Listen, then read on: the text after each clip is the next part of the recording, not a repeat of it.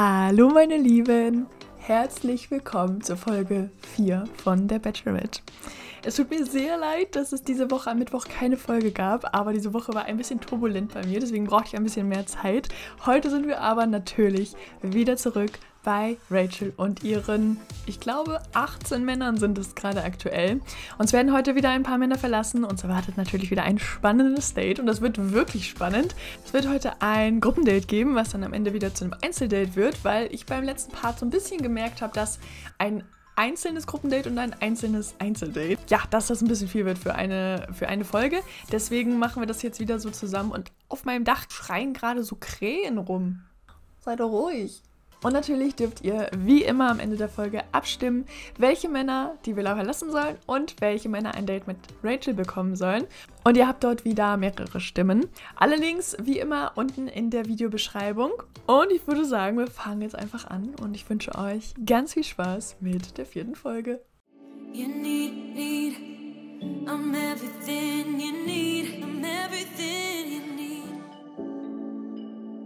So, es ist Nacht der Rosen. Alle sind äh, wieder bei Rachel in der Villa angekommen und äh, Josh wollte anscheinend gerade mit ihr plaudern, aber Rachel geht lieber raus. Okay, im letzten Part hatte er ja so ein bisschen versucht, sie ein bisschen um den Finger zu wickeln. Ich glaube, er ist nicht so glücklich damit, dass das bisher noch nicht so gut klappt. Dafür passieren hier draußen gerade super interessante Dinge. Der Aiden, der führt gerade irgendwie ein paar Moves vor und hier standen gerade, jetzt gehen schon wieder ein paar, aber standen gerade voll viele Leute rum. Der Aiden hat ja das Tanzen als seine Leidenschaft. Äh, deswegen hat er hier auch vorhin ein paar Moves präsentiert. Kommt gerade die, die, die Benachrichtigung, dass Aiden selbstsicher ist. Und so selbstsicher wie er ist, wird er jetzt mal zu Rachel gehen und äh, mal so ein bisschen mit Smalltalk anfangen. Und er wird einfach mal einen mutigen Anmachspruch machen. Sie findet es richtig gut. Jetzt tanzen die da alle um sie rum. Ich glaube, die beiden, die nehmen sich hier mal ein bisschen einen ruhigeren Ort. Können ja mal sich hier hinsetzen und plaudern. Ach, jetzt ist Archie anscheinend noch in das Gespräch eingestiegen. Sie wünscht sich jetzt ein Techtelmechtel. Rachel. So, dann könnt ihr hier ein bisschen weiter plaudern. Und ich glaube, das passt Aiden jetzt gar nicht so gut, dass Archie sich jetzt hier auch mit hingesetzt hat. Ich glaube, er wollte gerade so ein bisschen mit Rachel alleine sein, so ein bisschen mit ihr flirten. Oh, oh, Archie steht auf. Okay, okay, das ist eigentlich nicht die feine Art, das hier bei der Nacht der Rosen äh, so mit der Bachelorette zu flirten. Aber ich denke, Aiden ergreift einfach die Gunst der Stunde und macht es halt einfach und ist ein bisschen am Flirten.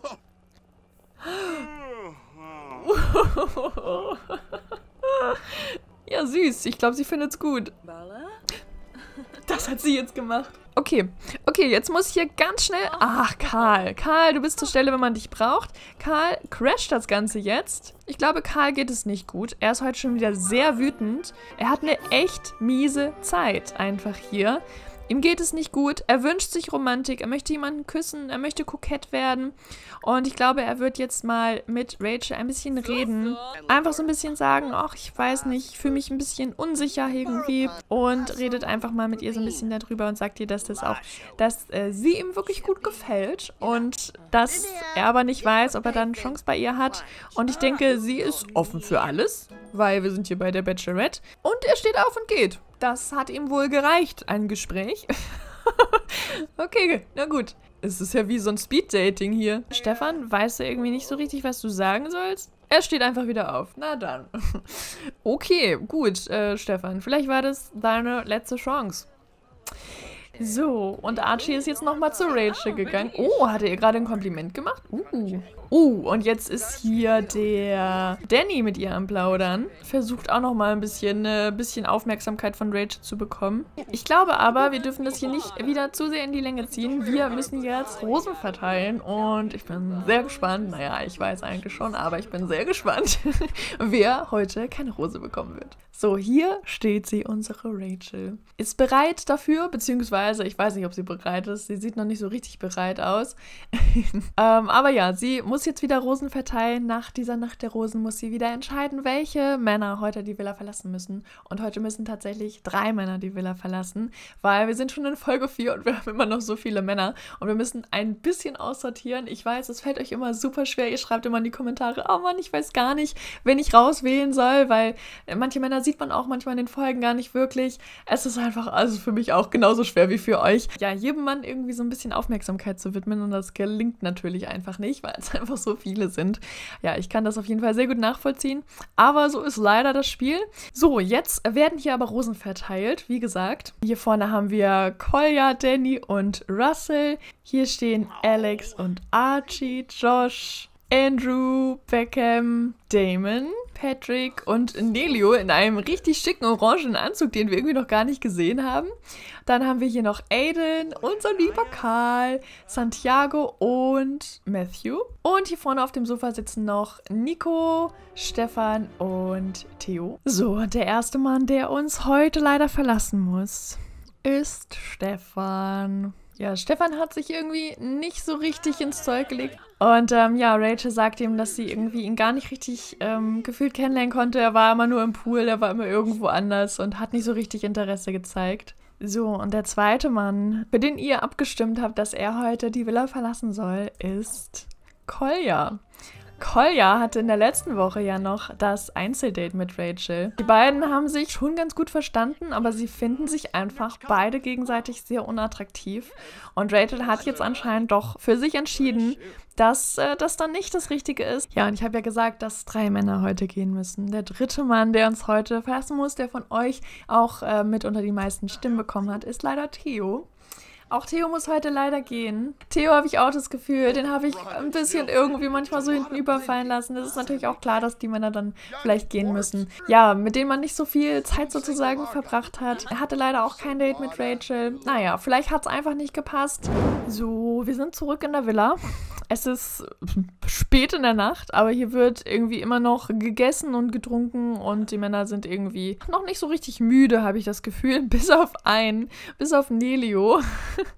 Der hat sich einfach ins Bett gelegt, weil der sehr, sehr müde war. Karl geht's wirklich immer noch nicht gut. Er ist zwar weitergekommen, obwohl er sich sehr unsicher war, aber er hat hier ein bisschen versucht, seinen Frust ein bisschen rauszulassen. So, am nächsten Morgen wird hier schon wieder die Wasserrutsche benutzt von Archie, der hier gerade ein bisschen am Rutschen ist. Und äh, Danny ist auch dazu gekommen und ist auch ein bisschen am Rutschen gewesen. Beckham steht hier ein bisschen äh, rum wie bestellt und nicht abgeholt.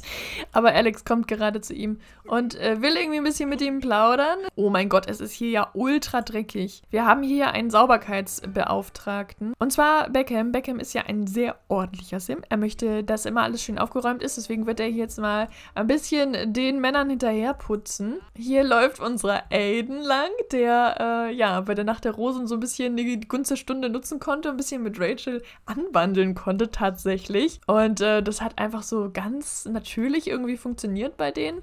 Hier ist Andrew noch am rumlaufen in der Bade. Badehose. Nico ist die ganze Zeit nur am Drinks mixen. Er ist in der Nacht der Rosen auch nicht so richtig zum Zug gekommen. Er ist zwar weitergekommen, aber er fragt sich wahrscheinlich auch so, okay, was war das jetzt so? Wir hatten irgendwie ein Date und irgendwie, ich weiß nicht, ist er irgendwie zu schüchtern, um irgendwie mit ihr mal zu sprechen? Und, äh, ich erzähle euch jetzt, wer heute mit auf ein Date darf und was es für ein richtig cooles, besonderes Date heute wird. Wie gesagt, es wird ein Gruppendate. Es dürfen sechs Männer heute mit auf das Date. Und wir hatten ja im letzten Part schon drei Männer, die eigentlich auf das Gruppendate gedürft hätten. Das waren Aiden, Damon und Beckham. Und äh, ihr habt nochmal abgestimmt und ich habe da nochmal die drei Männer mit den meisten Stimmen rausgesucht, die heute dann nochmal mit auf das Date dürfen. Also sechs Männer insgesamt. Und zwar ist das Neliut, der heute mal mit aufs Date darf. Er hat schon wieder sein, sein Bademantel an. Ich hoffe, er zieht sich noch um für das Date. Also Nelio ist äh, der vierte Mann, der heute mit darf. Was auch sehr spannend wird, ist, dass unser Casanova heute, Josh, auch mit auf das Date darf, denn sein Bruder Beckham darf ja sowieso schon mit. Das heißt, die beiden Zwillingsbrüder werden heute auf jeden Fall beim Date mit dabei sein. Und tatsächlich werden wir auch unseren lieben Karl heute im äh, Date nochmal sehen. Äh, ja, Rachel hat sich sozusagen, also ihr habt für Rachel entschieden, dass auch Karl heute nochmal mit auf das Date kommen darf. Der will jetzt hier gerade auch zu diesem Spieleteil gehen. Und ähm, ja, ich glaube, das ist ganz gut. Dann können die beiden sich nochmal ein bisschen unterhalten vielleicht. Karl kann da vielleicht nochmal so ein bisschen Klarheit für sich äh, bekommen. Und dann würde ich sagen, wir machen uns auf zur Date Location. So, wir haben es geschafft. Wir sind angekommen. Hier sind unsere sechs Männer und hier ist Rachel in einem Outfit, was ich ihr von der Stelle wegklauen würde, weil ich es liebe. Und äh, wir werden uns jetzt mal anschauen, wo wir heute das Date verbringen. Denn ich habe ja schon gesagt, es ist eine ganz besondere Location. Und zwar ist das das Haus der Türen, wo wir heute unser Date verbringen werden. Diese Location wurde mir gebaut wird von Katrin. Dankeschön. Die Männer müssen sich ihr verschiedenen Challenges stellen und derjenige, der am besten abschneidet, der bekommt am Ende das Einzeldate.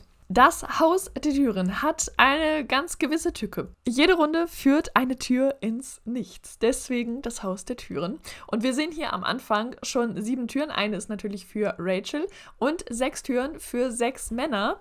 Denn von diesen Türen führen nur fünf, also eine für Rachel plus fünf für die Männer, in den nächsten Raum und eine führt einfach in so ein trauriges Kabuff, wo einfach so ein Besen hängt und so ein Ball ist, damit man sich da beschäftigen kann. Und so läuft das quasi die ganze Zeit weiter. Also, wir haben hier verschiedene Challenges. Bevor es in das Haus geht, geht es um Fußballkickern. Der, der das am wenigsten lange schafft, darf in diesen kleinen Raum hier laufen. Äh, dann kommt man hier weiter, wird hier von Rosenblättern empfangen und dann müssen die Männer Graffitis malen. Ja, und das, äh, was Rachel am wenigsten gefällt, der Mann, der darf dann, wenn es hier bei den nächsten Türen weitergeht, in dieses Kabuff gehen. Hier erwartet ihn eine Leinwand. Ähm, die anderen erwartet der nächste Raum. Hier wird dann äh, gekickert in Zweierteams. Ein Team wird gewinnen und von dem Verliererteam darf sich Rachel dann einfach für einen entscheiden, den sie lieber mitnehmen möchte. Äh, der andere wird hier in, das, in den kleinen Raum gehen. Dann müssen hier diese Bäumchen geschnitten werden und einer wird einfach nach draußen geschickt. So, und dann kommt man hier in den letzten Raum, dann bleiben noch zwei Männer übrig, die müssen gegeneinander Schach spielen. Und der Mann, der hier dann äh, gewinnt, beziehungsweise der, der verliert, der darf dann hier Bücher lesen und der, der gewinnt, darf mit Rachel dann in den Hauptgewinnraum sozusagen, wo es eine Bar gibt und ein paar gemütliche Sitzmöglichkeiten. Hier ist auch eine Rose auf dem Tisch. Und hier kommt man dann auch nach draußen in einen, äh, ja, super schönen Außenbereich mit einem kleinen Pool. Hier gibt es einen Grill. Hier gibt es einen romantischen Whirlpool. Und ich bin so gespannt, wer das Rennen machen wird. Das sind, wie gesagt, unsere Männer, die heute am Start sind. Einmal Karl, Damon, Beckham, sein Bruder Josh, Nelio und Aiden, bei dem ich immer noch daran denken muss, dass ich seinen Namen am Anfang nicht aussprechen konnte. Deswegen nenne ich ihn einfach jetzt nur noch bei seinem ersten Vornamen und nicht mehr bei beiden, weil ich krieg's einfach nicht hin. Wir äh, fangen jetzt direkt mal an das heißt, äh, das wird heute kein Plauderdate, sondern hier, die Männer müssen jetzt sich bemühen, sie müssen sich anstrengen, damit sie schauen können, wer hier äh, wirklich ein Einzeldate mit Rachel verdient hat. ich bin so gespannt, ob das klappt. Okay, auf geht's. Okay, da sind sie alle noch dabei. Das sieht ja. Guckt euch mal Rachel an, die freut sich voll. sie feuert die an. Oh, Josh. Oh, oh. Okay, wir, wir kriegen hier gleich Benachrichtigungen, wo dann steht, wer es wie oft geschafft hat. Ich muss mir das aufschreiben, Leute. Also, Nelio hat es geschafft, den Ball 16 Mal zu kicken. Beckham 24 Mal. Damon 36 Mal. Josh 8 Mal. Karl 16 Mal. Genauso viel wie Nelio. Und Aiden hat es achtmal geschafft. Oh mein Gott, das gibt ein Stechen. Aiden muss jetzt nochmal ran und Josh muss auch nochmal ran. Ich bin gespannt. Gibt alles, Jungs. Oh. Oh mein Gott. Oh mein Gott, was? Da hat er so geflirtet mit Rachel äh, bei der Nacht der Rosen. Und jetzt hat es ihn einfach in der ersten Runde rausgehauen. Tja, Aiden, was soll ich dazu sagen? Es ist einfach sehr traurig.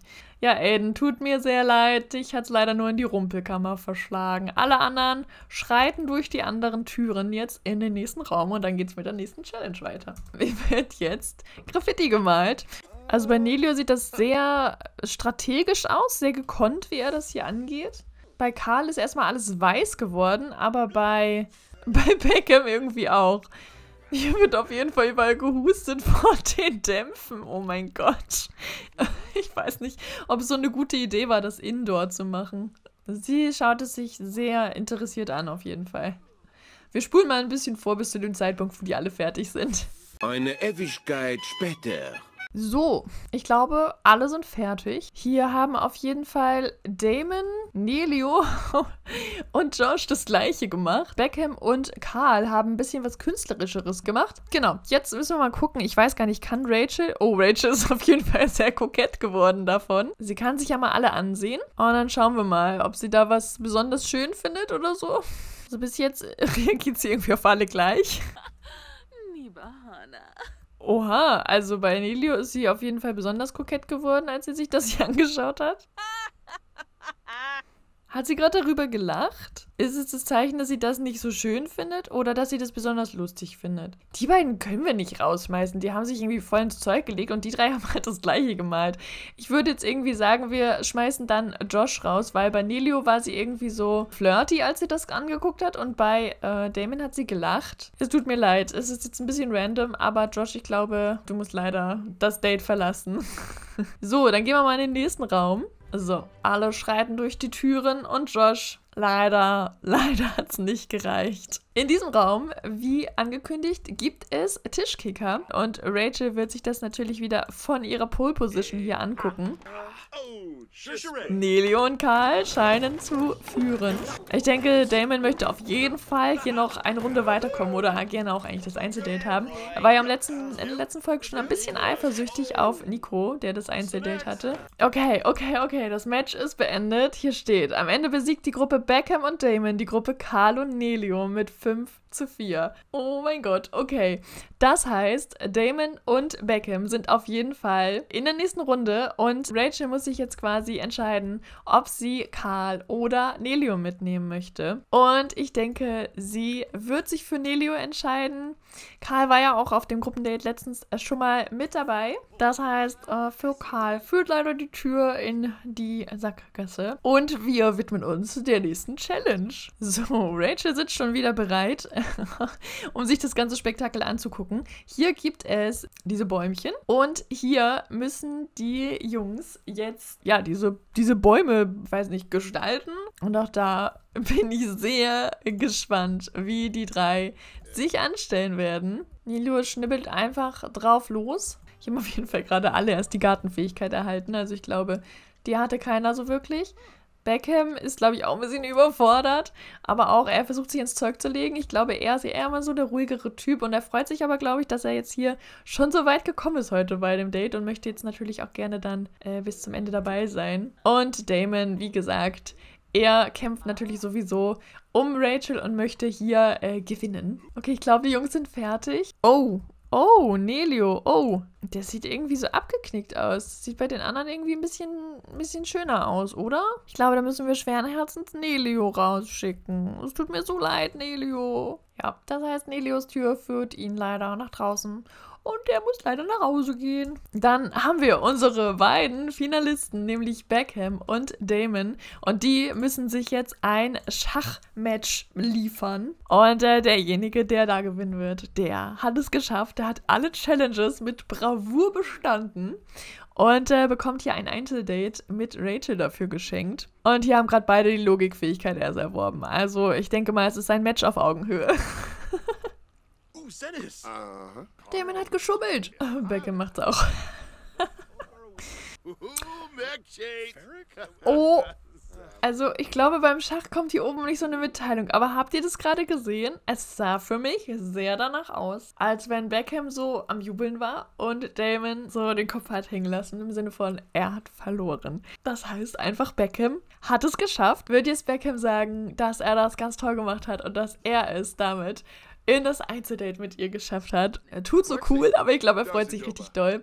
Ja, Damon, das heißt, du hast es zwar bis in die letzte Runde ins Finale geschafft, aber wir müssen uns leider jetzt von dir verabschieden. Und das heißt, äh, die letzten Türen führen in den Raum zum Einzeldate, beziehungsweise Damons Tür führt natürlich nicht dorthin, sondern führt wieder eine kleine Abstellkammer. Und die beiden äh, Turteltäubchen, die werden jetzt ein bisschen eine schöne Zeit verbringen. So, und Beckham wird erstmal Rachel sagen, dass sie heute ganz fantastisch aussieht und dass er sich sehr freut auf dieses Einzeldate mit ihr.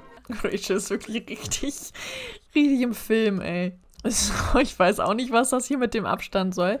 Ähm, ich denke, Beckham wird einfach ein bisschen mit Rachel plaudern. Was sind denn nochmal so seine Interessen? Ich guck mal kurz nach. Also, Beckham ist ein Genießer, ein Bro. Er ist ordentlich, er würde gerne eine Familie gründen.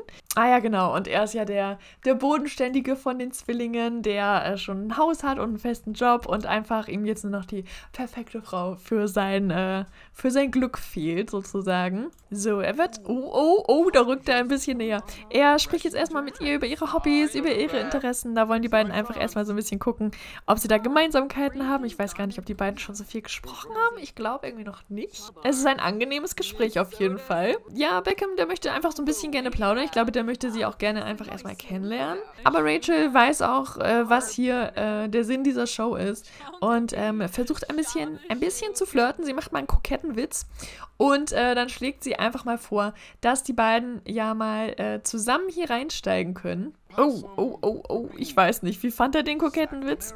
Sie sagt auf jeden Fall, komm, wir gehen in den Whirlpool und Beckham ist noch so ein bisschen, okay, na gut. Er hat sich jetzt richtig mit Abstand zu ihr gesetzt, aber er ist auch kokett. Er wünscht sich jetzt auch einen schmutzigen Witz zu erzählen. Das hat anscheinend funktioniert. Die beiden haben eine Liebesleiste. Ah! Okay, okay, okay, okay, okay, okay. Wir machen ein bisschen, ein bisschen Smalltalk. Ich glaube, er ist noch ein bisschen überfordert. Es läuft einfach ganz gut und ich glaube, oh mein Gott, Rage ist einfach zu ihm hingetaucht. Oh. Also, ich habe das Gefühl, es wird einfach hier ein bisschen, ein bisschen heiß in diesem Whirlpool. oh mein Gott, sie wird ihm jetzt ganz tief in die Augen schauen. Also, ich glaube, Beckham findet Rachel schon toll. Wir können ja mal gucken. Ich habe jetzt ein bisschen Angst zu gucken, weil das letztes Mal so schief gelaufen ist. Uh, also, Rachel findet Beckham auf jeden Fall sehr attraktiv. Und wie findet er sie? Oh. ja, okay. Also, ich habe auf jeden Fall das Gefühl, dass es hier so. Am Anfang war er so ein bisschen zurückhaltend und dann hat er schnell gemerkt, so, okay, sie findet ihn anscheinend richtig gut. Jetzt läuft sie halt wie am Schnürchen, Leute. Es ist ja wohl der perfekte Augenblick, dass hier in dieser vierten Folge vielleicht der erste Kuss fallen könnte. Also, es kommt eins zum anderen. Und er traut sich einfach, sie zu küssen. Das ist der erste Kuss. Das ist der erste Kuss. Und ich denke, danach werden sie nochmal zusammen reinsteigen. Oh.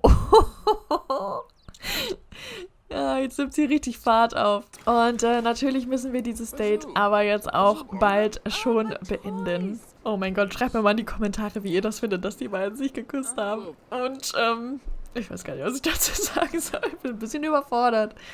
Aber ich finde es süß. Ich würde sagen, wir beenden das Date aber an der Stelle, ähm, denn wir können hier auch nicht ewig bleiben. So, Beckham ist wieder zurück in der Männervilla. Und äh, wir wollen jetzt mal noch kurz hier gucken, was hier gerade so abgeht. Und dann muss ich den Part auch beenden. Josh kommt natürlich erstmal zu seinem Bruder und wird ihn jetzt erstmal komplett ausfragen, wie ist es gelaufen, ist was passiert und so weiter und so fort. Ich denke, Beckham würde das seinem Bruder auf jeden Fall schon erzählen, aber es kommen natürlich ein paar andere Männer noch mit dazu. Und ich denke, da wird Beckham sich dann lieber ein bisschen bedeckt halten, um da auch nicht ähm, mit jemandem hier anzuecken, weil ich glaube, das ist nicht so sein Ding. Ich glaube, er möchte da lieber ein bisschen seine Ruhe haben. Aber guckt ihn euch an, er ist einfach hier super kokett. Er wünscht sich Rachel zu knuddeln. Och, ist das süß. So, Archie hat sich gerade was zu essen genommen. Uh, ein Hamburger. Uh, der sieht aber lecker aus. Den würde ich jetzt auch gerne essen. Andrew ist auf dem Weg zur Rutsche. Oh, hier ist auf jeden Fall... Oh, Damon ist am Malen. Der verarbeitet erstmal seine Erfahrung von heute. Oh, Danny hat sich ganz weit zurückgezogen. Der ist jetzt hier oben im oberen Stockwerk in der Badewanne. Santiago hat sich jetzt auch einen von den Hamburgern genommen. Die sehen auch wirklich sehr, sehr gut aus. Oh, und Karl ist hier hinten ähm, zu Damon gegangen und hat sich gedacht, ich male einfach mal auch was. Ihm geht es auf jeden Fall wieder besser, das freut mich sehr. Matthew, Matthew haben wir heute auch noch gar nicht gesehen. Oh, oh, hier ist Andrang an der, an der Wasserrutsche. Hier wird jetzt auf jeden Fall noch ein bisschen gerutscht. Hier haben wir noch Josh, Aiden und Nelio ist auch noch dazugekommen. Okay, ich beende die Folge an der Stelle. Meine Güte, heute ist wirklich einiges passiert. Ich bin so gespannt, wie es weitergeht. Also, wir haben jetzt den ersten Kuss gehabt von Beckham und Rachel. Rachel findet auch noch den Aiden Aiden ganz gut. Mit Dico hat sie angebandelt. Es wird auf jeden Fall in der nächsten Folge wieder so ein Gruppendate geben, was dann wieder zu einem Einzeldate wird. Ich habe das Gefühl, das funktioniert für die Folgen ganz gut. Ich würde mich auf jeden Fall mega freuen, wenn ihr wieder Lust habt, mit abzustimmen. Es gibt wieder wie immer zwei Abstimmungen. Wer soll die Villa verlassen? Und einmal, wer soll auf ein Date mit Rachel gehen? Und ihr habt bei beiden wieder mehrere Stimmen. Ach so, und die Abstimmung ist wieder offen bis Montagnachmittag. Ich freue mich auf jeden Fall auf die nächste Folge würde mich auch freuen, wenn ihr dann alle wieder mit dabei seid. Vielen Dank, dass ihr auch heute mit dabei wart, dass ihr wieder so fleißig abgestimmt habt. Ich freue mich auf jeden Fall immer noch sehr darüber. Ich wünsche euch eine wunderbare Woche. Und ja, wir sehen uns in der nächsten Folge und bis dahin, macht's gut. Tschüss.